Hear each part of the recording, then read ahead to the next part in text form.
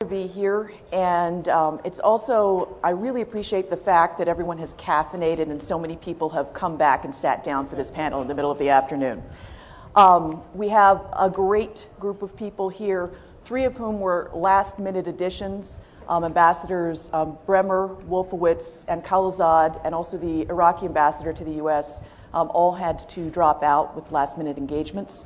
So um, I will introduce the panel um, essentially in chronological order of involvement, they've just pointed out. Uh, we have Dr. Stephen Cambone at the far end. He served from 2001 to 2006 in the Department of Defense. During that time, he was twice nominated by President Bush and confirmed by the Senate for senior positions. I used to do this for a living. Well, everyone can still hear me. Um, including um, the, as the first Undersecretary of Defense for Intelligence. Second, we have Ambassador John Negroponte. He's been ambassador to Honduras, Mexico, the Philippines, the United Nations, and he was the first ambassador to Iraq. He was also the first director of national intelligence under President Bush, as you've uh, seen him talking about on another panel. So thank you for a second appearance. Uh, number three, we have Ambassador Chris Hill. He was ambassador to Iraq from 2009 to 2010 and earlier served as ambassador to Korea and Macedonia and was special envoy to Kosovo. He is now dean at the University of Denver's Josef Korbel School of International Studies. And finally, we have Ambassador James Jeffrey. He was ambassador in Iraq um, until about three weeks ago, 2010, till then. He also had multiple tours there, serving as a senior advisor for Iraq from 05 to 06, with a brief stint as charge d'affaires during that time, and then came back again as deputy chief of mission from 2004 to 2005. So, now that I've got everyone's bona fides established, I would like to set out the purpose of this panel as a chance to look back, ask some tough questions, get some things on the record that you might not have heard before. In our conversations over the past couple of days, I've heard some things that I had not heard before. It's also a chance to look ahead and ask how post war Iraq is playing a role from serving as a possible Al Qaeda safe haven that never existed before to setting a more positive example as a working democracy in a sea of conflicted areas. I'm going to kick off with about 15 minutes. We're going to talk about the history, how we got into the war. And I want to start with some bullet points things that we pretty much um, all agree we got wrong.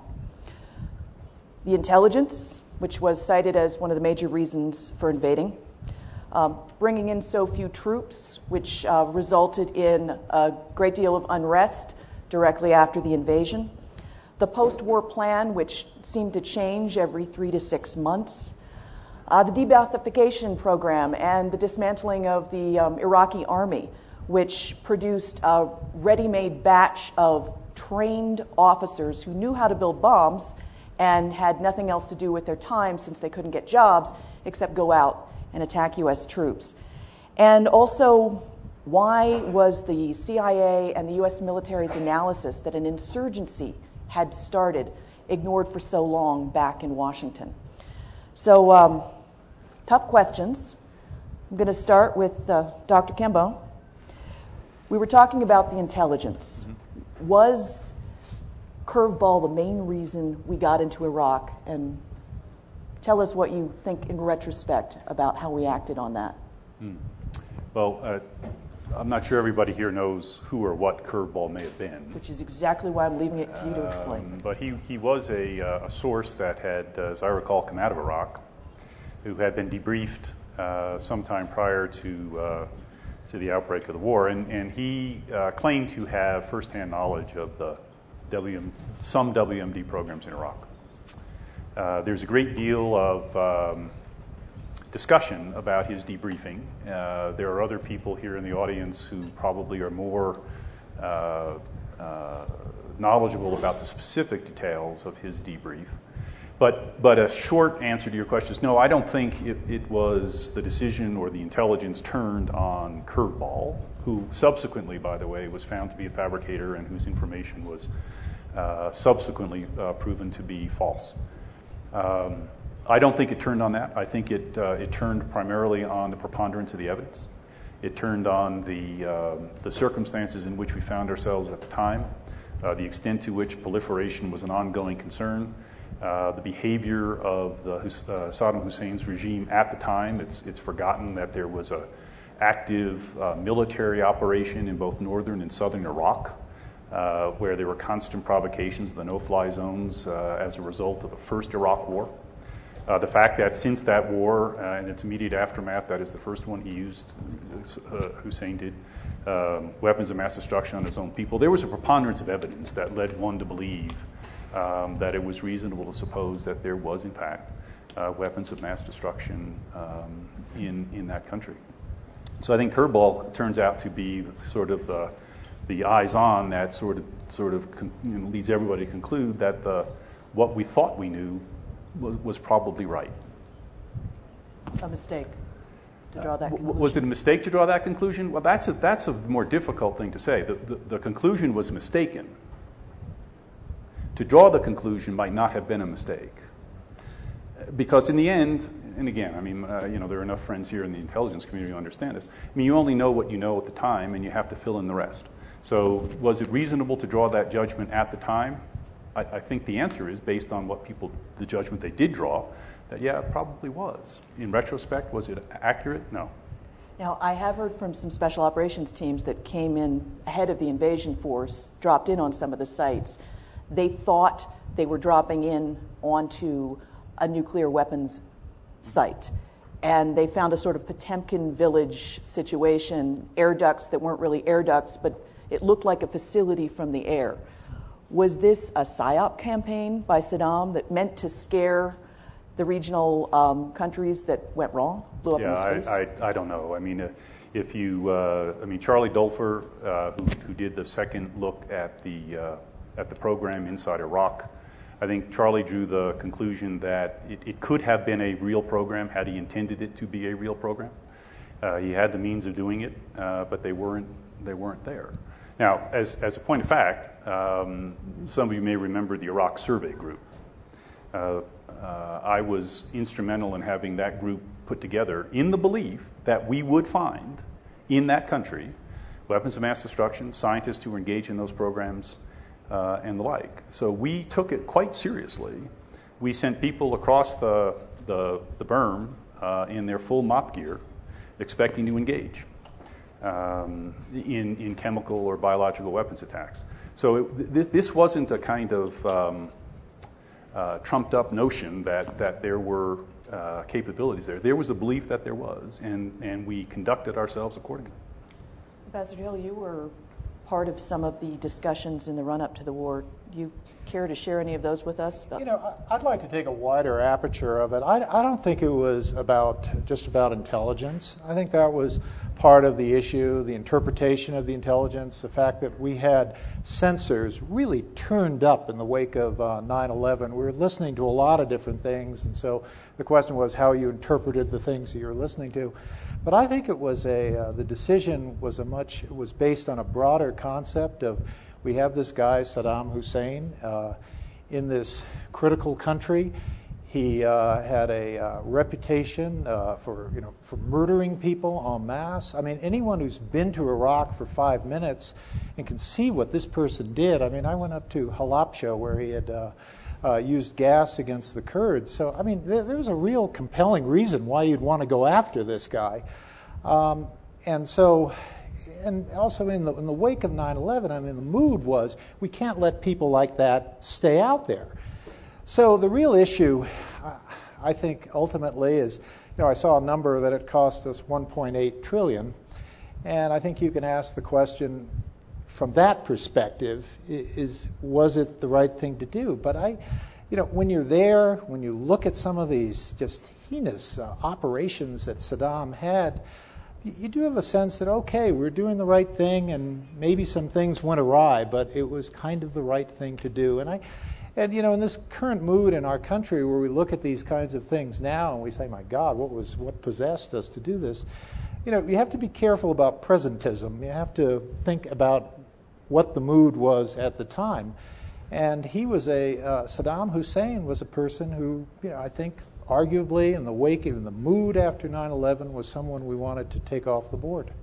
Yet, arguably, it also took our attention away from Afghanistan, a still hot war, and took a number of troops and resources from it. Yeah, and I certainly understand that argument. I think people who are involved in those decisions can talk about that, but I, I really think you know whether Iraq is ever is always going to be called the Iraq War as opposed to the Republic of Iraq is going to depend on the future, what happens in Iraq, how it. Uh, how our policy goes forth with Iraq. You know, right now we have a very dicey situation there. I mean, it is the object of a great game among Sunni Arab states who want to restore Sunni rule, and uh, and the Iranians who want to keep it as a the the only Shia Arab state. I mean, this is this is really the issue, and uh, we jumped into it, and so I think we have a responsibility to kind of stay engaged and I don't think that involves asking second lieutenants with rucksacks uh, to be uh, negotiating with sheikhs. I think it's uh, kind of up to uh, diplomats to start doing that. Okay, well, before we get to that, okay. let's get back to we decided to invade. Um, the number of troops we chose, uh, the plan. Does the U.S. just not understand how to occupy a place? Is it something, uh, knowledge we'd lost? Well, I, what I would say to that, well, first of all, on the question of curveball and, and intelligence failures, I mean, it was a notor- it turned out to be a notorious enough mistake to cause the revamping, the reform of the intelligence community. We talked a bit about that yesterday, so I don't think anybody, uh, you know, questions that that was a serious mistake.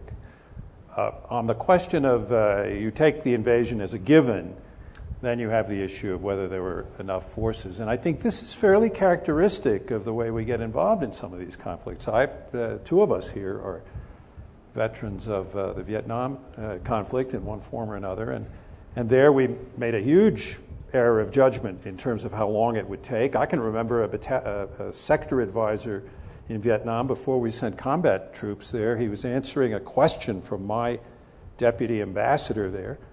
Uh, how many troops would you need to clean up your province? And he said, Oh, one battalion could clean this place up in about three weeks. Well, you know, nine years and two Korean divisions later in that very same province gives you some sense of how sometimes we uh, subject ourselves to wishful thinking. I think that's exactly what happened in Iraq. There may have been some errors in terms of the way we handled uh, Baathification and so forth, but when I got there in June of 2004, it was clear to me that the term reconstruction, and we had a $17 billion reconstruction fund, was a misnomer. And it was all for water, electricity, uh, irrigation, and what have you. And uh, I had to recommend to Washington that we reprogram several billion dollars for building the, uh, Af- uh, the uh, Iraqi police and military forces.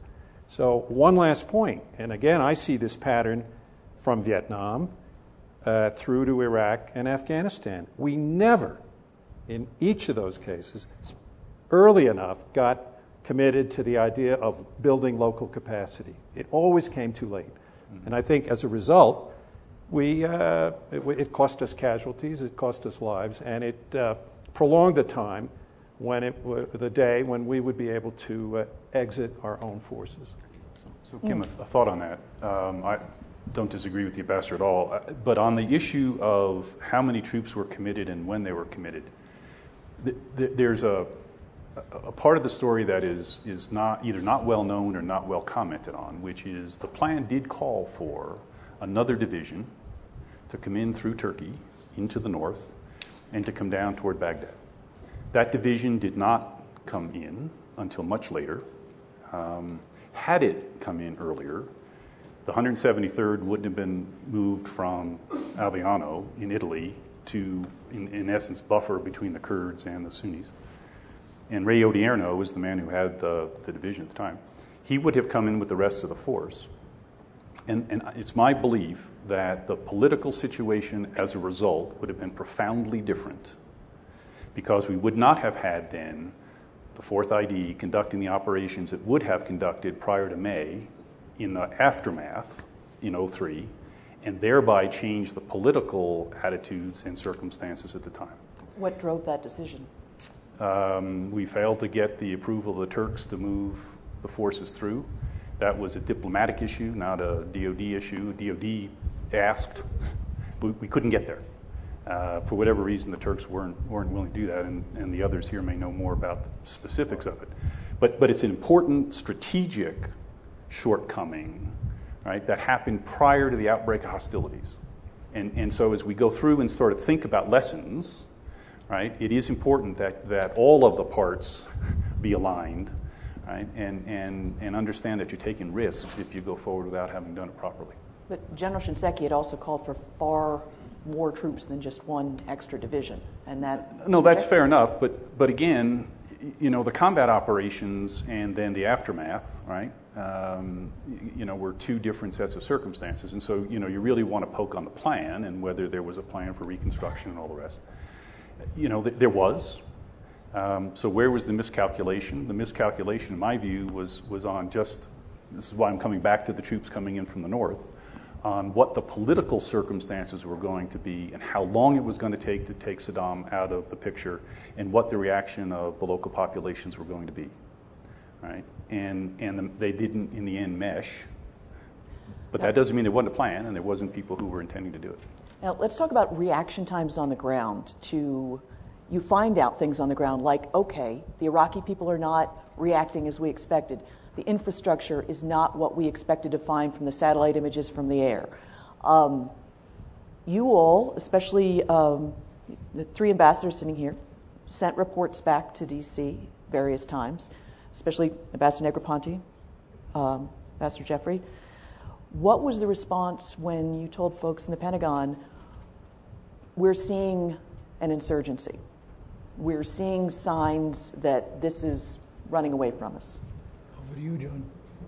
Uh, well, I was working for John, so uh, we very early uh, saw that we not only were faced with uh, a considerable amount of violence, but that we didn't even have control of the famous um, road between uh, the airport and um, uh, the embassy in the green zone, and that we were not focused on what we later came to focus on, and frankly, what we focused on earlier in Vietnam, which is protecting the population that was not part of the mission set. The uh, answer was to stand up the Iraqi army. I won't get into the painful details that led to John very quickly deciding that billions of dollars had to be shifted from long range projects into supporting Dave Petraeus directly in uh, funding the police and the armed forces or indirectly through CERP programs, short term, um, in the field kind of. Uh, uh, development assistance to get people back to work and such because we realized we had a tremendous problem. Uh, we were passing that information on to Washington. The solution was uh, basically stand up the Iraqi army and they will be able to take over the job. The problem was the Iraqi army uh, was not easy to stand up. It took a good many years and a lot of fighting to do that. And in the meantime, the insurgency established itself. Established itself, and then, of course, in 2006, it really blew up. I think it's important also to understand that the insurgency wasn't a matter of Baathists or just uh, Iraqi army unhappy with de-Baathification or the decommissioning of the army. It was a Sunni. It was a Sunni insurgency. So why was it a Sunni insurgency? And the reason was de-Baathification was considered on the ground to be a kind of desunification. It was sort of, we were accepting the notion that with democracy would come Shia majority rule, and yes, there'd be Sunnis invited to participate. But the, inst- the institutions that kept Sunni rule in place, namely the Ba'athist Party, we went after. And no one saw it as de-Baathification, they saw it as desunification, hence the Sunni insurgency. But I would have, I agree totally with uh, Chris, but I would have said, taking it one step further, the very focus of what we were doing in there, which was to not only take down Saddam, but to leave the country in the hands of its population, which is 80% non Sunni, uh, Shia, Arab, and Kurd, uh, meant that these guys were going to be out of power, out of the position that they'd had since the Ottoman period. And so, to one or another extent, it was likely that they were going to react violently. Could I just say, I mean, mm. this is a sort of an agonizing discussion. Let me try to put it in about three sentences. Instead of a successful invasion with a quick result and installing painlessly a new Iraqi government, we found that instead we had to go through a one year occupation, billions and billions of dollars in building up their police and armed forces, a uh, secular war, uh, and uh, several elections. But finally, I think we're at where ideally we would have liked to have been in the spring or summer of 2003. And Well- so, just uh, by way of illustration of how things can take eight or nine years longer than you think they might when you plan them. Which, which is uh, the common U.S. military wisdom is that a counterinsurgency takes about a decade. Um, but it's the, the painful part is some of the steps that we missed along the way. I still have to ask. Um, the counter, I, I at the time talked to generals. I've spoken to CIA officers whose careers were scuppered because they stood up and said before it was acceptable to say, "Hey, there's there's an insurgency building here." And it, so I have to ask Dr. Cambone, what was happening when some of these reports came back to the Pentagon? Uh, uh, uh, they were taken with a great deal of seriousness. I mean, I, I don't know about people's careers who stood up and said they were, they were scuppered because of, of having said so. There, there was a, um, there, as I recall the circumstances we had at the time, we're talking now, this is March through September of '03. Um, there was a good deal of uncertainty as to how all of this was going to shake itself out. I was there in June of '03. Um, I was there with a congressional delegation. Chuck Alsop, who's here, he was there with me. Senator Warner, Senator Levin, um, Senator Collins, a number of others. Um, and the circumstances at the time uh, did not lend themselves to the conclusion we were headed rapidly in that direction. Right? Um, so you get to the fall, and, and there are reports now coming back about insurgency. So the question then becomes what, what, is, what, what was the implication of its being an insurgency? Right? And as you just went through John's sort of description, this thing moved from being one kind of thing to another thing to it morphed over time. Right? So that there was opposition in the population is true. That there was a, uh, a center of gravity that was the insurgency in the fall of 03 is a little harder. By the time you get to the turn of the year in 04, it's becoming clearer. By the time you move into the 04 timeframe, it, it's that's where we are. All right. So, so these things don't turn around on a dime, and and the conversion of the force, and I remember this vividly, uh, starts in August of 03, when the secretary said, "Why are our people still inside their armored vehicles? Why aren't they on the ground, patrolling the streets and taking care of the violence?" And with that began the evolution of the military side of the reaction to what was taking place. I mean, it was, it was a vivid conversation. So, are you saying that Secretary Rumsfeld was saying we need a counterinsurgency program on the ground? By 03, by, by the August of 03, it was clear that this thing was turning in a direction that, that was not anticipated and, and was not planned for in the detail that it eventually was by the time we got into 04. Let's get to the next pivot, which will then bring us to some of the big issues that I know you all want to talk about about Iraq today. Um, the next big pivot was 2006. Um, you had you had an underground um, fight between you had Al Qaeda of Iraq trying to trigger a Shiite Sunni dispute. You had the political backdrop to that was that the two were fighting um, over government. We were trying to arbitrate, not very well. And you had the bombing of the Golden Mosque of Samarra, a Shiite shrine, and the decision by General Casey at the time to keep U.S. troops on base and let the nascent Iraqi army try to handle the unrest. Now, I- remember what happened over the next month. The Shiite death squad started going out um, seeking revenge, and literally 100 bodies a day started showing up in the streets. Uh, many of them with, you know, people killed by the Shiite tool of choice at the time, which was the power drill. So this was really horrific stuff. Is that something we could have, should have prevented? I will let anyone jump in. I would say yes. And we could have. How so? we did have a lot of troops there. Uh, at various points, by keeping on troops uh, because of the Najaf uh, fighting in the summer of uh, 2004, uh, we were up well over 150,000 troops. Uh, and that isn't too far down from where we were at the point of the surge. The question was did the troops have the mission of going out and securing the population? During my time there and during my time working uh, from, uh, in Washington on Iraq from 2005 uh, to, through 2006 and then uh, less intensively through 2007 until the surge began, uh, I didn't see that, that clear mission to protect the population. Um, and yet, there was also the argument being made um, by General Casey at the time, by the Iraqis that I spoke to, you know, get out of our face, get off our streets. You're more of an irritant.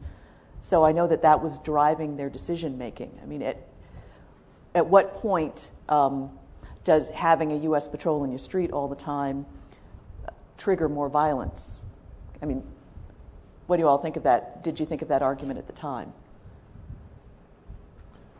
You're looking at us. I was not. Uh, I was back in Washington at the time, and I recall not so much what the marching orders of our military was, as much as the despair, the sense of despair that was felt in Washington from the president on down in terms of this sectarian violence. I think he saw the whole, the whole project, the whole effort uh, going down the drain, really. And that's when he uh, commissioned a group, a very small group of people, uh, led by his de- deputy national security advisor, to come up and spent several months. And there's some people in this room who were involved in various parts of that effort to uh, think about what it was we could do next to uh, try to salvage this situation. And that is when the idea of the surge was uh, uh, conjured up. And even then, I don't think it had much support because uh, the analysts, many of the Iraq analysts, were extremely pessimistic and I think felt that there was hardly anything we could do uh, about the situation at that point. I'd just like to say I agree with Jim that we should have and we, we could have done more on the street, but I would also make the point that it was a political issue that we did not understand. Uh, the American public was treated to a lot of statements like these are just like Nazi dead enders in, uh, in Bavaria. This was not about party dead enders. This was a sectarian uh, problem, and I think we are a little slow to, to catch on to that and, and slow to, to try to forge a uh, you know a government that uh, that involved everybody uh, that all, involved all the the entities. Uh, that said, I mean I think the Shia were in a mood to uh, for um, for revenge against uh, the Sunnis. And I think it's a very, very difficult undertaking to ask Americans to do that. And finally, um, I was in, in Iraq when, when the U.S. military pulled out of the towns, the cities and towns. It was part of the the uh, SOFA SOFA agreement when they pulled out uh, June 30th. The status of forces agreement. Status of forces agreement when they pulled out in 2009, and I remember Maliki gets up and uh, says something that to me was really uh, kind of hard to take. He was saying, "This is a great victory for the Iraqi people," and I thought, you know, how can he say something like that? And then he continued and he said, "But with all great victories, it will come with costs." And basically, as he as he completed the speech, I came to understand what he was talking about, which is everyone wants to see the streets return to Iraqi sovereignty, but everyone knew that the Iraqi army is not exactly the world's greatest fighting force, and there are going to be many problems in terms of you know, civilian casualties, and he's just, he was simply getting the population ready for those problems, understanding that they have to endure that if they're going to regain sovereignty. And I remember that moment and thinking, you know, this issue of sovereignty is, is huge for Iraqis. It's really been the glue to keep that very fractious country together. And I think the fact that we tried this one year occupation, as John suggests, probably as we look back and you know we were looking at it somehow in the optic of you know Nazi Germany 1945 it's probably the wrong way to think of the place. To pick up on Chris there was uh, actually two insurgencies and they were quite different. Uh, the Sunni one, with uh, the uh, dollop of Al Qaeda coming in on top of it, and the Shia one, led by Muqtada al Sadr, although at various times other groups were involved too. Some of that was supported at various times by Iran, which is a whole separate subject, but much of it was uh, basically bubbling up from below. Essentially, whenever you go into a country, regardless of uh, how good your motives, regardless of how important and necessary, you are going to generate very violent reactions. Yeah, these reactions are going to be stronger if you're out on the street throwing water, bottles at people, but they're going to be there even if you're uh, ensconced in bases around the country. Uh, this is the history of Iraq, it's the history of Turkey, it's the history of any other country. And uh, Muqtada al Sadr exploited that clearly. Uh, uh, very selfishly because he saw that this was a way to build up his own political capital because that had resonance among the population. So at various times we were fighting both in the Sunni areas and we were fighting down in Najaf and Sadr City. Let's talk about the surge. Um, now, prior to the surge, uh, there was a year of concentrated intelligence led special operations um, actions against uh, Al Qaeda, against Sadrists, and a whole lot of actors got taken off the stage, and then the surge came in. Do you think the surge worked, or do you think it was the year of special operations actions before that? What do you think turned things around? Do you think it turned around? Sure. Yes. Um, no military operation succeeds without there having been um, some amount of preparation going forward. Uh, so the work that was done by uh, General Casey and others during that course of that year uh, was significant. Um, you know, the Sons of, uh, of Herat, the Arab Awakening, what was it, out in Anbar, it's terribly important, and, and that had been underway for some time. Uh, those folks finally figured out that this Al Qaeda thing was not working for them, uh, and that they would be better off coming to terms at least with the U.S. military. There remained the political reconciliation, but at least with the U.S. military. And the strikes that you're talking about uh, certainly did have uh, a way of, uh, in military terms, setting the conditions uh, on which the surge forces fell um, in, uh, in late, uh, what was it, 06 and in 07. Um, my view is that they gave the final muscle, the final push, the final cement to allow the things that the exhaustion that had begun to overtake the parties. It allowed them to kind of back up, reconvene, and, and find a way now to come to terms with one another in the face of what was a significant strategic and political decision by the president at no small risk to say, we are going to do the surge. He was the principal supporter of the surge. There's no question about it. Um, and, and he drove that.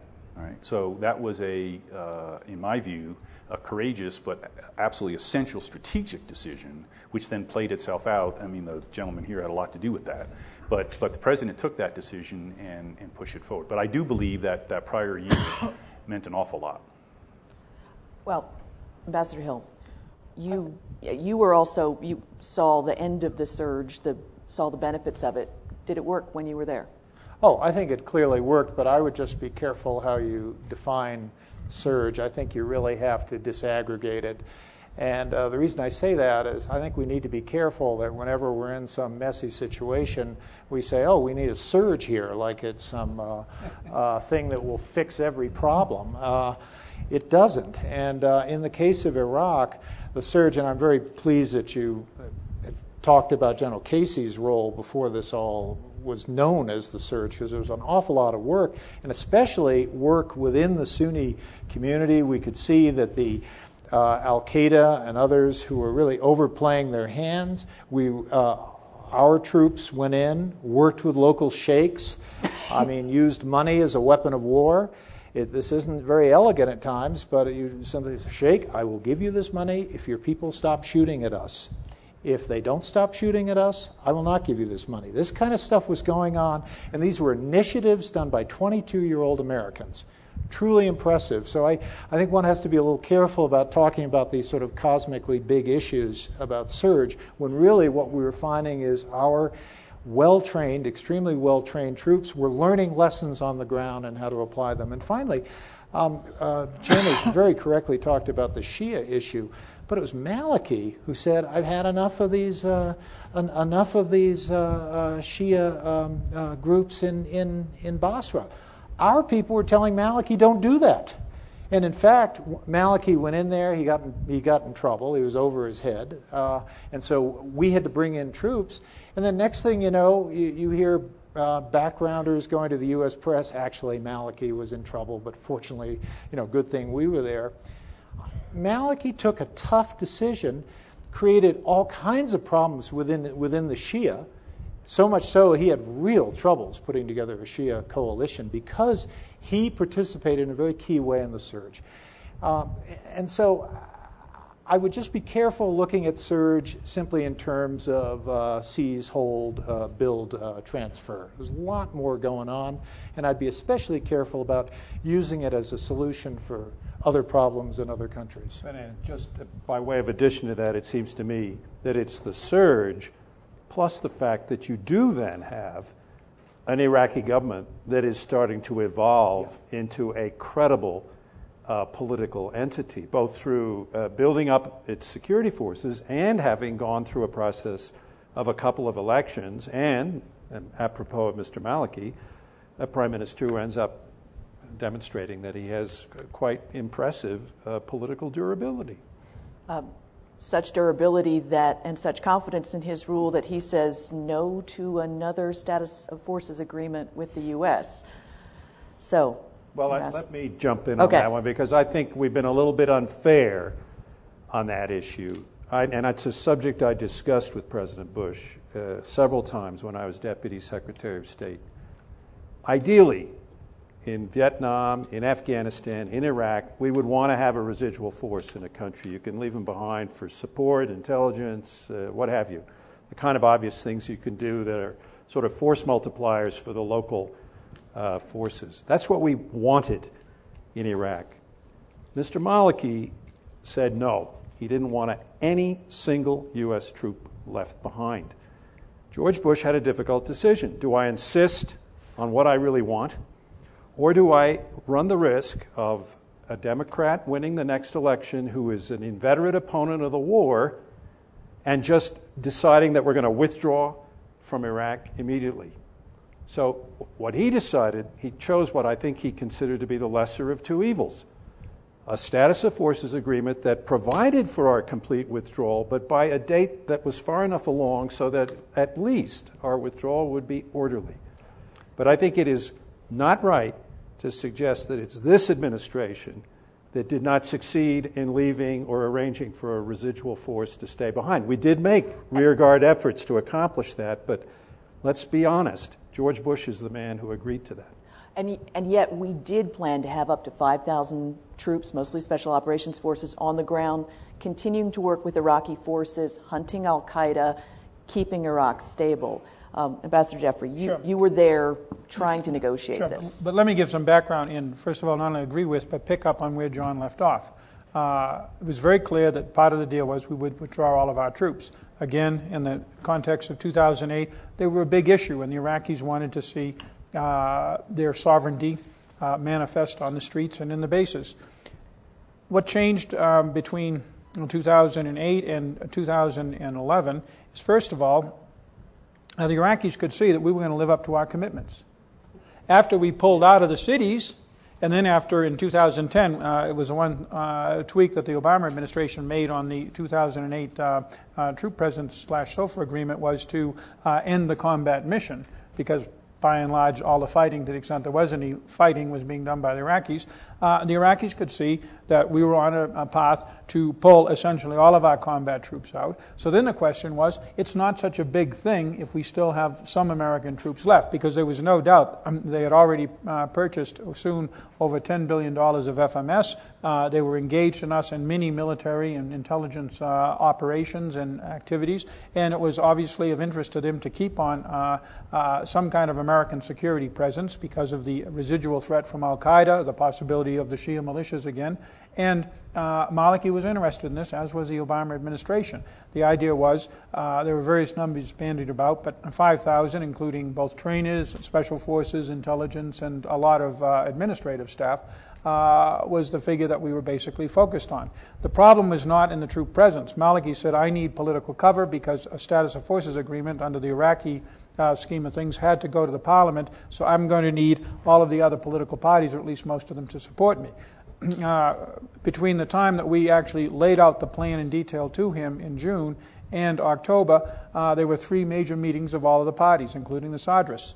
Uh, in the end, all but the Sadrists agreed to have a U.S. military presence. What they disagreed on was to give the Americans legal immunities, uh, which is the key ingredient of any SOFA. For very good reasons that are global and long-standing for the United States, we can't put troops overseas without uh, those kind of legal immunities. On the other hand, the Iraqis, while they wanted the troops and they wanted what the troops would do, uh, said, we're happy to have the troops, but we uh, can't give you the immunities. Just stay on the bases and stay out of trouble, and everything will be okay. And so we could not square that. So at the end of the day, we decided that we would go with a more traditional approach, as we have done in Saudi Arabia and uh, in other countries, without a combat troop, uh, basically a combatant commander's forces on the ground, but rather a large security assistance office, very large diplomatic and intelligence sharing and other things to try to do most of the training, equipping, uh, counterterrorism, and other operations without the troop presence. So that's how that rolled out. But it has been posited by uh, many in the GOP that the Obama administration planned this, that they didn't really want the SOFA to work, that they sabotaged it. Uh, I talked to President Obama twice, and, and uh, Vice President Biden innumerable times, and they very much wanted to have a residual force. I shouldn't say force. Residual presence of American troops doing training, uh, counterterrorism, and other such activities. And the reason is, and we can get to this in a second, they could see that this was a success.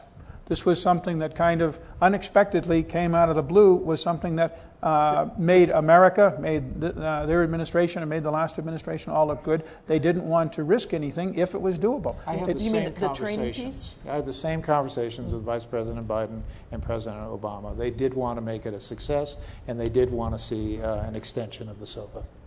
So the war is over. Let's get to some of the aftermath questions, starting with Al Qaeda. There wasn't an Al Qaeda presence in Iraq prior to the U.S. invasion. Right now, the most recent U.S. intelligence estimates that I had is that the Al Qaeda presence is around 1,000 fighters. It's one of the largest Al Qaeda branches. Uh, possibly Yemen's ahead now, but it's large, it's dangerous. The Al Qaeda spokesman over the weekend talked about reviving the organization to full strength um, in Iraq. And we've seen a rash of calculated, coordinated, sophisticated bombings. Have we produced something that's going to be with us for some time? Uh, let me it, take that. Uh, the Al Qaeda threat was huge back in 2005, 2006, 2007. It subsequently dropped and dropped and dropped to uh, a pattern that was uh, manifest when I arrived in uh, August of 2010. In fact, right after I arrived, there was a horrible series of attacks around the country, bigger than the ones last week that were all Al Qaeda's. Uh, since that time, uh, again, they were under continuing pressure both from uh, our special operations, our intelligence uh, multipliers, and uh, the Iraqi forces, who are quite good in counterterrorism, and the attacks dropped further. Uh, but still, about once a month, you would get this series of attacks throughout the country. And people thought that they saw a spike back in early 2012. We looked at it carefully. I don't really think it was much of a spike. Now, what happened last week is somewhat different. That is a somewhat larger uh, uh, set of attacks with somewhat more casualties. Again, nothing very surprising compared to even 2010, let alone 2008 or 2006, but it's something you have to watch. Politically, however, the polls we've seen, uh, the political branch, such as it is of Al Qaeda, has zero, literally zero support in polling among the Sunnis of Iraq. So that they have uh, basically through uh, criminal activities a base of sorts in Mosul, which is the only place where they actually operate with any with limited impunity. And apart from that, they have a very uh, skilled capability of infiltrating suicide bombers and explosives throughout the country, and they're going to continue to have that. The political impact of that, however, right now is not very high. It has to be watched, however, because once before it was able to expand and have a considerable political as well as military impact. They are not holding territory.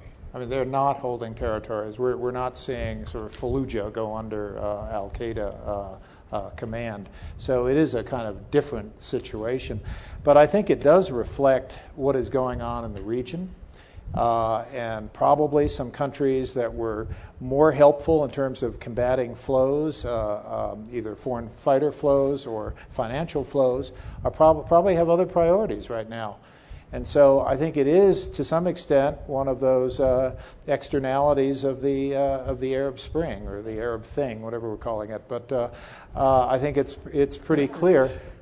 Sorry about that. Uh, it's pretty clear that with America gone, or the perception that somehow, with our troops gone, that there's a sense among some peoples, including this extreme uh, radical uh, Sunni, that somehow the country is once again up for grabs. Dr. Cambone, when you look back at that and think the invasion was about making the U.S. safer, and yet you've got this large Al Qaeda presence that, while it might not be holding territory, could present a transnational threat. Yes. So, does it? Um, is it one of those things that I guess we'll okay? We'll get to uh, we'll get to the, the next question about um, the positives and the negatives.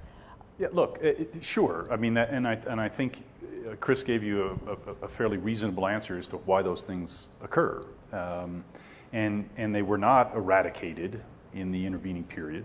There were people who survived. Uh, there are others who have, uh, have infiltrated back in. Um, is it possible now for recruits to be drawn from that population to other places? Yes.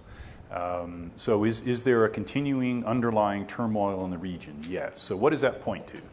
It really points to uh, the need for the United States to make plain, plainer, um, its intention with respect to the security of the region, its determination to stay a critical member of sustaining security in the region, to do it visibly, right, and, but not in a way uh, necessarily that is going to result then in the reactions that one gets uh, when one overplays the hand. Okay? So a lesson learned right, is, is one of those.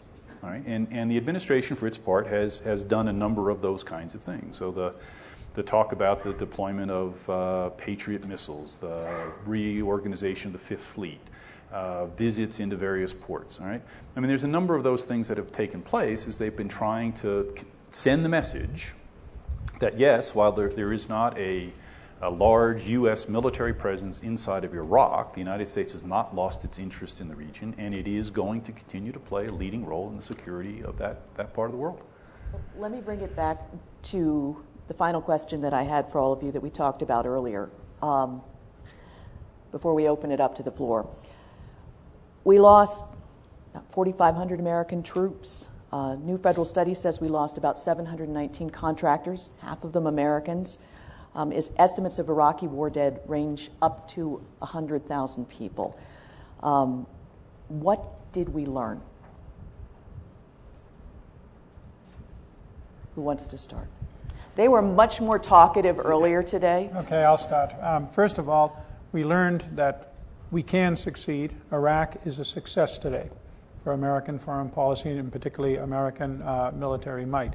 It was a very difficult success. It's very precarious. I say this all the time, but every morning the first thing I do is click on the uh, Iraq news uh, uh to see if uh, uh, I have to modify what I say because this is still very precarious. It faces the underlying fissures that we all know about between Kurds, uh, Sunni Arabs, and Shia Arabs. As Chris said, you've got uh, uh, interference by the Sunni Arab states, by Iran, and uh, a great deal of activity by the Turks, particularly in the north, but not just there. So that requires a lot of uh, exactly what Steve Cambone said American engagement in the region. But sitting on top of an embassy of 16,000 people and $6 billion, I certainly didn't feel lonely or felt that America had abandoned me out there. So it's a success, but it's a very limited success. Uh, what we learned is these things are very, very hard. Uh, wars of choice are very, very difficult. They have a huge, typically negative impact on the population. Some, at least, of what we see in Libya and today in Syria on the part of the administration has to be a reaction to the very negative reaction of the American people at various points to uh, what we were doing and not doing in Iraq. Secondly, uh, and this is a big theme, but I'll just touch on it because it's come up on almost every one of the panels. This idea, whether it's counterterrorism or uh, uh, drones or whatever, right? But in the long run, it's got to be the political, the economic, the reconciliation, the nation building, and all of that. We tried that. We put huge amounts of money into it. As John said, he had a $17 billion budget, and we uh, doubled down on that at various points. It's very, very hard, even without a roaring war, even without a big counterinsurgency, to do development assistance, to do long term nation building, to do reconciliation of uh, bitterly opposed political forces. If that's the exit strategy for American troops, we're going to have a lot of trouble. I'll leave it at that. Ambassador Hill. I think um, in invading Iraq, we took on probably the toughest problem there is in the region. It's, after all, where the uh, where the Persian world meets the uh, Arab world, whereas, where the Shia world meets the Sunni world, where the Turkic world meets the Arab world. Yeah, I cannot think of a tougher place. And so, if you're going to go into the toughest place, don't just do it on adrenaline. Do it by maybe doing a little homework. And I feel that we should have done an awful lot more homework about, you know, when you look at a dictator, the first question should not be how do we get rid of him? The first question should be how do you get there? And once you figure out how a person like Saddam got there, that will help inform the, the, answer to how do you get rid of them. Clearly, Iraq has to be ruled by some combination of those three communities Sunni, Shia, and, uh, and the, uh, the Kurds. That, that has to be how it works. But, I mean, to go in and to think that de-Baathification was akin to denazification in 1945 as opposed to getting Sunnis out and replacing them by Shia, I don't think we really understood where the fault lines of that society really were. The fault line of dictatorship and democracy was something we understood, uh, and it was we were right to to rectify that. But the Sunni Shia fault line has been there about a thousand years, and usually when you have a fault line that's been there for a thousand years, you might want to pay a little more attention to how you're going to how you're going to deal with that. So I must say it was a very hard thing. I I agree with Jim that it is going in the right direction, and I would put myself on the you know glass uh, half half full side. And, you know, I know President Bush will take a lot of grief for the rest of history about the invasion of Iraq, but I don't think anyone can say that he didn't have the guts to take on the toughest problem in the, in the Middle East. So I'm, I'm, I hope we can stay with it. I hope the Obama administration will stay with it. I mean, we do have the world's largest uh, embassy, don't we, Jim? I mean, there's still We've got our Peruvian guards there still, and our uh, Ugandans, and uh, our uh, Albanian gardeners, and uh, Bulgarian.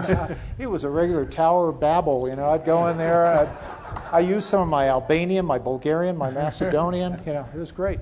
Uh, it's it's a very unusual situation, but I don't. You know, at this point, I think we have to kind of stay stay engaged on it. Ambassador Negroponte.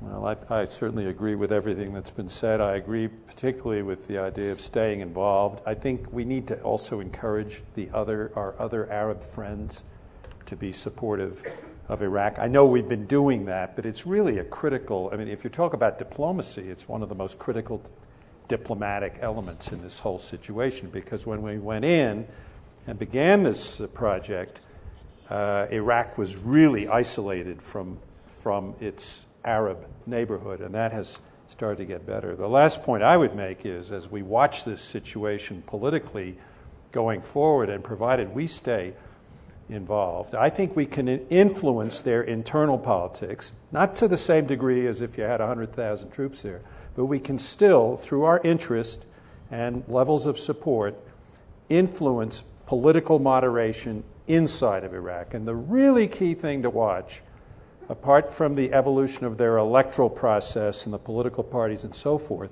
is whether their armed forces and their police can become truly national institutions. That's the real metric. Can they become national institutions, or is it going to become, is the Army going to become some kind of a Shia militia, which is what we want to avoid at all costs? Dr. Cambone, you, you shared a pretty grim lesson this morning that you took away well, from there's us. a- there, there are some grim ones, but, but let, let me give you the, what I think is, is actually a, a, a bright light of this. I, I think the decision to invade Iraq will prove to be historically uh, one of the great strategic decisions of the first half of the 21st century, if it proves not to be the greatest. And it will prove to be the greatest if, as has been said here, we see this through. And, and it will be uh, one of the greatest strategic victories of the United States because if we can take um, and make it a success in Iraq, if we take what I consider to be some of the aftershocks that you see flowing through the region, whether it be in, in Libya or in Egypt or now in, in Syria, and after Syria comes Lebanon, and after Lebanon comes Jordan, right, and after those comes Saudi Arabia, this place is in motion in the way that it hasn't been for a century. And we have an opportunity to shape that. Right? And it comes directly as a result of having invaded Iraq. Now, whether you thought that was a good idea or a bad idea, the decision was taken, and now the opportunity in front of us is enormous to reshape that region if we stick with it and see it through all the way to the end. Do you think it was a good thing or a bad thing, the decision? I think, I think history is going to prove that it, it was a success. I didn't ask about history. I I think it's going to prove to have been a success. Provocative way to open it to questions. Questions from the audience. Uh, just a few. Um, okay, Barton, I'll get to you. Front and center. Because I was giving you the challenge to get the microphone there. Well, until I asked this question, Steve Cambone was, was a friend and a colleague in Please, prior please, in- incarnations. please introduce yourself too. No, no. So, if, if each of you would be willing to, to answer this question. So, if Saddam and his sons were still in power and we had not invaded, so we had not gone into Iraq and they were still in power, what would, uh, how, would, how would that have affected us for the last decade and the Arab world? Don't know if we have time for all of you to answer that, but A counterfactual history, Aaron. That's Aaron Fuller, by the way, uh, former colleague, friend. Uh, counterfactual history is uh, st- still a friend. is, is, is always tough. Uh, I, you know, I, I- think my answer is, is comes from what I just said a moment ago. I, I- I think we would have we we would have seen the place still locked in a in a stasis that would have been um, relieved only by the natural passing right, of, of the various dictators in the region. Um, what's happened is there's been an enormous acceleration, in my view, of, of change as a result. Uh, so I think we would have seen uh, the place still locked down. And it wouldn't have been good for us. That, that was not a good situation for the United States. I'll take a stab. It's too big a question to answer in any detail, but I would say one thing which we haven't focused a lot on. For most of the Iraqi people, that would have been a far worse scenario than us going in despite the 100,000 uh, killed and despite the lousy infrastructure and all the problems, because before 2003, the Kurds and the Shia didn't get very much electricity in any case or any other of the services. So I think from the standpoint of the Iraqi people, and I think most Iraqis would, uh, would be of the opinion that it's a damn good thing that Saddam and his ilk went. And now that's why I wish we had the uh, Iraqi ambassador here. Chris? I think, I think we would have had a bloody civil war there by 2012. I think the Kurds would probably be out of there by now. And, you know, when you look at the development of Kurdistan, uh, it really started with a no fly zone. I mean, it didn't just start in 2003, it, it started, uh, you know, a decade before. So I think, I think Kur- Kurdistan, some people argue it already has one foot out the door. I think if, if Saddam had been left in charge, it would have had two feet out the door. Saddam was in no shape to invade Kurdistan anymore. Uh, he just couldn't do it. And so I think that would be one big difference. And I think the Shia uh, just wouldn't have put up with it much longer. And that's where I think there'd be a, a bloody, uh, bloody civil war. Ambassador Iqbal? Do you- I think everything's Pass. been said. you know. Okay. Another question. Barton. Hi, I'm uh, Bart Gellman from uh, Time and Princeton. Uh, for purposes of uh, provocation, uh, I, would sharpen the question and ask it in a way that I think only so far Dr. Cambone has answered, which is uh, let's stipulate that Saddam was a bad guy, that he was hostile to U.S. interests, that the present government is uh, is better both for Iraqis and for American uh, interests in the region. Uh, with the full benefit of hindsight, if you walked into the souk and someone offered to sell you that change uh, for the, you know, closer to two billion than one billion, and the 5,000 and the 100,000, the strains on the U.S. Uh, uh, military forces, the destruction of Iran's principal regional military ally, the propaganda value for Al Qaeda, and so on uh, would you lay your credit card down? Would you, would you now do it again? Sorry, who pays the credit card? I mean, I mean, I, are you asking if it was worth it? Yeah. I, uh, my view is it was definitely worth it to the Iraqis. And I think from the point of view of the U.S., it's a very different question for some of the reasons you enumerate. Do you think it was worth it? You know, I, I, have opinions about that, and I've kept them to myself uh, through the whole time I was there, and I think I'll keep that up. I'm not interested in sharing my here. opinion on whether it was worth it. Uh, but I think it's an, it's an important point. I mean, we, we haven't talked much about what the Iraqis think, but I mm. didn't meet many Iraqis who told me, oh, we wish you hadn't overthrown the guy. And I think Steve points to some of the huge opportunities ahead. And we haven't talked about the economic opportunities. I mean, if this country starts producing six, seven, eight million barrels of oil a day. It has a more Western orientation than it used to have. I mean, before it was in this stasis that Steve was describing, but, it was, but its big friend at the time from out of the outside power was, was, was Russia, if I remember correctly. And uh, where's that going to get you? So, uh, in that sense, I think uh, a lot has been unblocked that uh, that might not have been otherwise. I mean, the last before the invasion, we were we were administering at the UN the Oil for Food program. That was our relationship with Iraq. Not well. You know, Churchill was asked that question. Would you live your life over again, knowing what you know now? And and he said, if I didn't, it would have been my life. So you don't really get a chance to uh, to know the outcome before you start. So when you say knowing what you know now, would you do now what you did then? You know, it begins to sound like a country song. Um, so, so you know, you, you can't. All you can. No, no, that's that's a different point, and, and so I, so yes, I'd, I'd, accept that as, as as a question, and, but but given what we knew at the time and what we thought we knew at the time, and the circumstances under which the decisions were taken, I, I, think they are justifiable and defensible. And as I said earlier, will turn out to have been one of the great strategic decisions of the, of the 21st century, the first half of the century. And if, we, and if we follow through, it will be a great strategic victory for the United States, not just for the, the people of Iraq. I'll take a stab at that. Uh, having spent three years there uh, trying to help push it in the right direction, uh, we should be very, very, very careful about going into a country and deciding we are going to get rid of one political system and introduce a new one, bearing in mind, I don't think we had a very good idea of what that new one was. We were inventing that as we went along. Wouldn't you say that's fair, John? And Chris? And, uh, and we kept trying, and then we tried something different, and uh, it did work out. Steve is right. But as I said, it's very, very contingent.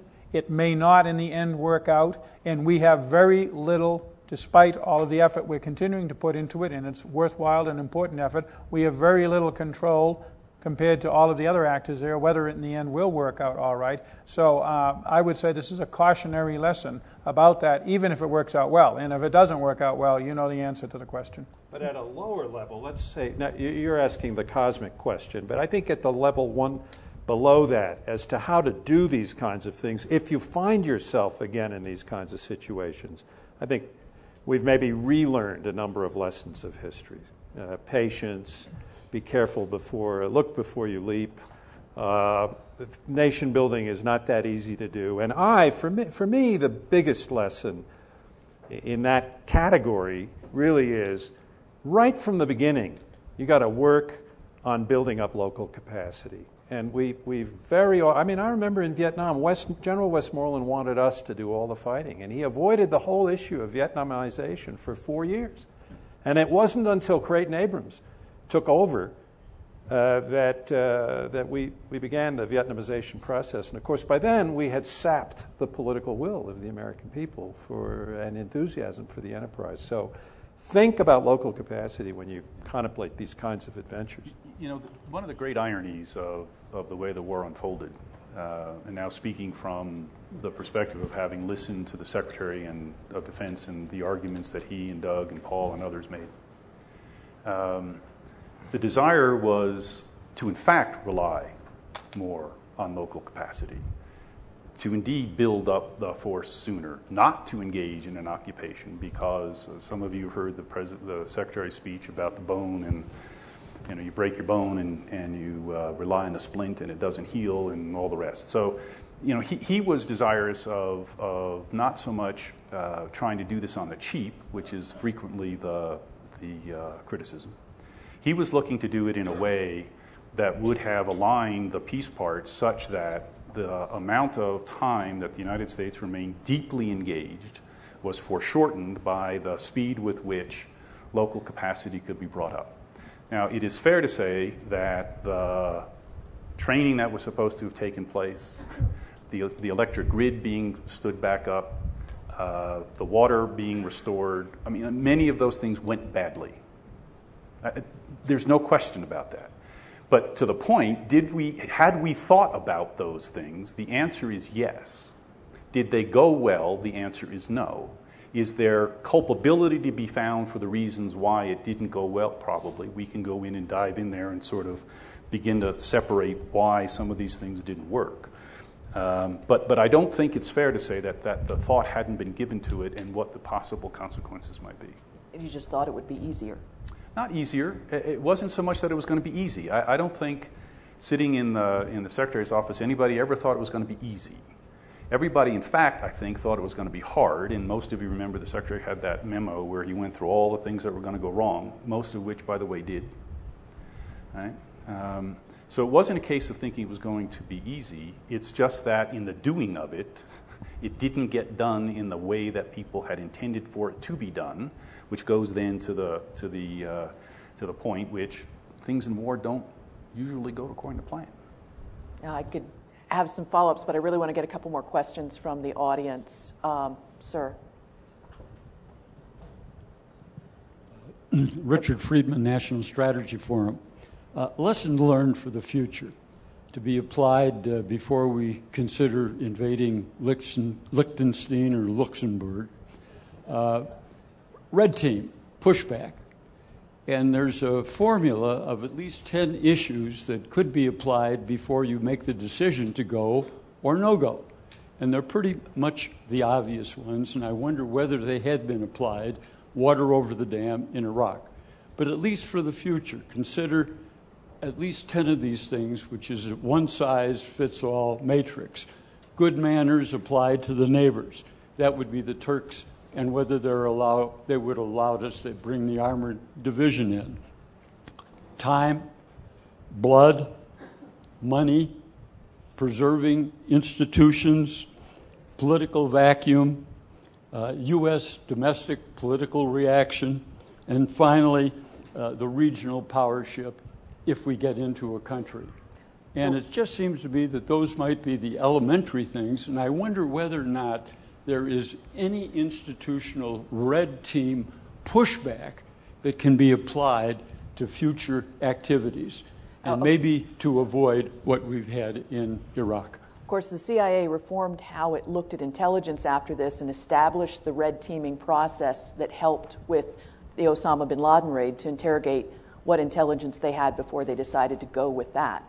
So, was there a similar process at the DoD that you took away a lesson learned and well not only took away lessons learned i mean that list of things was uh, was uh, reviewed and, and thought about and uh, and as i say i mean uh, uh, you know the it's usually said there was no plan for after the combat operations my sense is that it's not so much there wasn't a plan. Um, I, am not sure the plans consolidated in the way that they might have. First, second, uh, I do think that list of the, the secretary's list I made mention to you just a moment ago has that in about 27 more things, right, of, of issues that one needs to think about uh, in undertaking those uh, things. So, yes, should there be some institutional basis for doing it? Yes, the joint staff, uh, guys here and others who've been on the joint staff, we, you know, exercises were done, uh, rehearsals were gone through. I mean, people thought about about those things. Um, you know, war starts its own dynamic, right? And once that dynamic begins, it's all about managing it.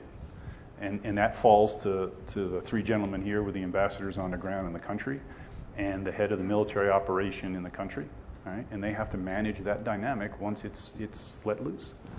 I want to get one more question from the audience. Um, let's see, um, sir. Uh, why don't we do that lightning round thing? I want to get like two uh, questions. I'll, be very brief. Okay. Uh, Ambassador Hill, uh, my name is Bob Myers, and th- I have a question as to whether uh, the, those powers that decided to invade Iraq knew this fact that 80 to 90 percent of Sunni and Shia marry their first cousins. Was that a known fact? Because if you invade a country that, where you're killing cousins, you create a lot of antagonism. That's an interesting question. And uh, one from over here, gentleman in the blue shirt. Uh, Tom Barron, I'm very interested in Dr. Hill's comments about uh, learning and how you uh, take experience and whether we could have done more of it here. And I'm thinking, particular. I'll use a small example. The leadership of the army leading into this had just spent years in the former Yugoslavia in what amounted to occupation operations. Like ambassador, I spent several years in Vietnam, and there are relevant lessons there. But Shinseki and others had just spent years, uh, and he got fired for by Rumsfeld for suggesting it would take a much more significant force to do it. Uh, I use that small example to, to ask how, why, how, at the top level, can't we look um, more accurately at the pa- recent past from lessons learned and carry them forward before going these kinds of directions? Gentlemen, so um, had we thought about the um, Sunni family structure and? Well, I can't say, I mean, maybe other people can comment on whether we knew about uh, intermarriage at first cousin, but uh, I will say, you know, at the end of the Gulf War, it's often understood in the United States that we didn't march on Baghdad because the coalition would have broken up. And we always understood that without going too deeply into the analysis that the reason the coalition would have uh, broken up is that our, our Arab uh, uh, allies would not accept the idea of us going into still another country. It's one thing to liberate Kuwait, it's another thing to march into, into Iraq. And so the analysis stopped there. It might have been worthwhile to have a deeper look at why the Saudis would not have wanted us to overthrow a Sunni regime in Baghdad.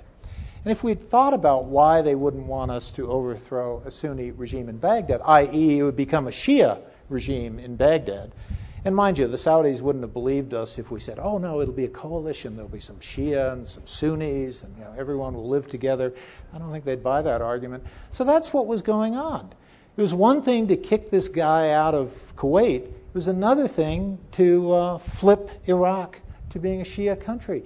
And that's something we should have given a little more thought to, rather than just consider the Gulf War as some kind of unfinished business that, by golly, now that we've, we've been attacked in 9 11, we're going to finish it. So I think that was, a, uh, that was a serious failure of concept on our part. Jim. Yeah, if I could answer this and to some degree uh, get back to the, the, question posed here. The most important thing, I think, uh, uh despite all the things I said today, that we've heard was Steve Cambone saying, this is going to be a game changer. The impression I got when I got there and following this before was that uh, the decision in the Bush administration was largely if we succeed in Iraq, taking this guy down and creating a democratic, friendly government, this is going to be a game changer and we got to try this. Uh, history has not had its final decision. It's still quite possible, and it really would be a very important step. But it's also quite possible that it won't after a tremendous cost. Had we gone to the American people and say, hey, do you feel lucky today? Let's roll the dice. This may involve a decade. This may involve tying up much of our diplomatic uh, uh, bandwidth. This may involve a trillion dollars. And maybe it'll work and it'll be a game changer. Maybe it won't. What do you think? And that was what all of these red teams and all of this other stuff would have produced was a lot of worries and such. This was not like going into Kuwait in 1991. That wasn't easy, required a lot of effort, but the outcome was pretty clear to see. There was nothing clear to see about this outcome. All of the problems that people identified emerged, and we've dealt more or less with most of them. So I would just leave it at uh, if you decide that this is going to be a game changer, then you basically have to roll the dice. The question is, how do you bring the American people in on that? And yet, we still have the Sunni Shiite divide there and the Al Qaeda presence that kicked off a civil war once before. Well, so, yeah, but, but, you've got a government that's functioning. Yeah. And, and you have, in its own way, right? Uh, I mean, I remember being there in 04 and all the parties being around the table, and this was a collection of folks who if they were on the street and running around, would have been picked up and arrested and put in detention, right? So they were all sitting there at the table, talking to one another. They, they knew they know about one another and what they're doing. So the question is, do we give them the kind of support and help that it's going to take to get there? Which leads me to responding to the question about additional forces and back to my point about the approach, at least that was in the secretary's mind. And let me, despite my point about counterfactuals, uh, ask this question. Um,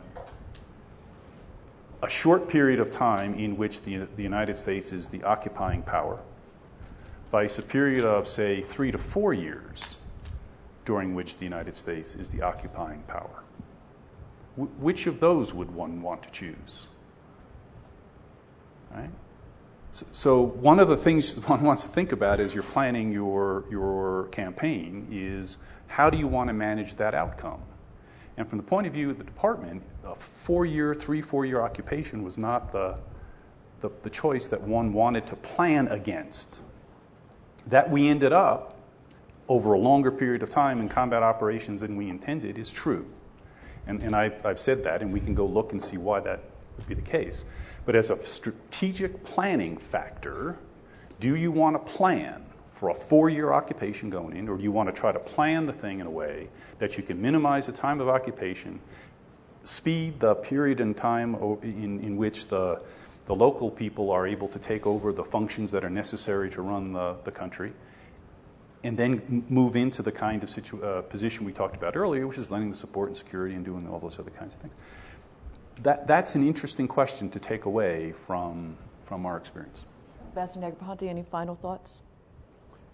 TBD. I mean, I just don't think we can make the historical judgment at this point. It's uh, our views are going to be influenced by the developments over the next uh, decade or so. That's my belief.